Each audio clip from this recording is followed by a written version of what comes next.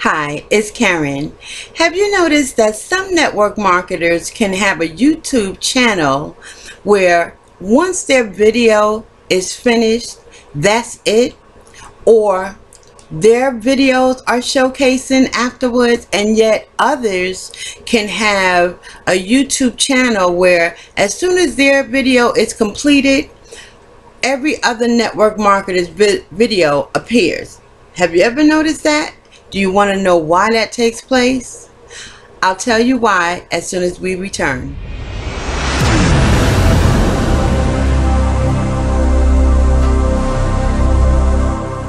Okay, so we're back.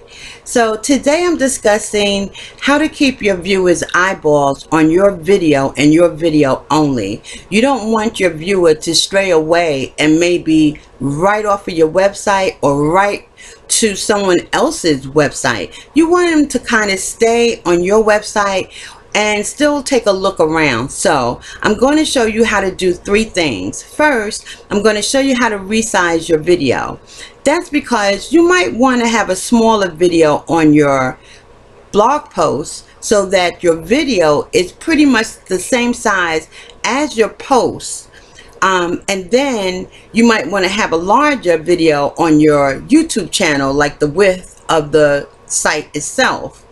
The other thing I'm going to show you is how to get your video to automatically play. Now, some people like for their videos to play automatically on their posts as well as on their YouTube ch channel. So I'm going to show you where those buttons are so that you can have them have your video play automatically either on your post or on your YouTube channel or on both. And the last thing I'm going to show you how to do is how to create either a loop for your video where your video continues to play as soon as it gets to the end it comes back around and it plays again you can either do that or you can actually have your video stop and no other videos show after that. Now that's really what you want to know how to do because you don't want anyone else's videos to play behind yours.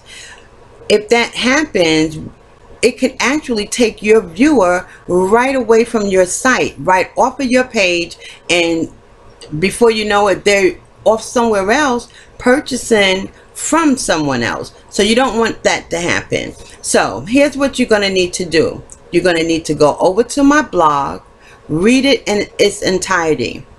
If it brings you value, like and share it. If you have something you would like to add, if there's a question you want to ask me, if you agree or disagree, please leave that in the comments below. I read all of my comments and I respond to them personally. I keep it kind of cute too. but in any case, then you can go over to the YouTube channel and take a look at my videos. There are some videos over there that are not connected to a post and especially now I've clicked on a button somewhere and now I've separated posts from the videos but I'll get those back together but in the meantime you might see a video that you was wondering what happened to it well it's over at my YouTube channel you can take a look around. There probably will be a video there that will give you information that you was looking for. It can certainly bring you a lot of value and make your life a lot easier. So if you do find a video that has brought you value please like and share it. At the same time you can subscribe to either my blog or my YouTube channel. This way as soon as I release a post or video you'll receive them as soon as I release them I hope this has brought you some value. I do want to thank you for coming to my YouTube channel and taking a look at my video. As you'll see, when this finishes, there won't be anything playing behind it. In the meantime, you know what I always say right about now. I'll see you back here tomorrow, same time, same place. But until then, stay safe. Bye for now.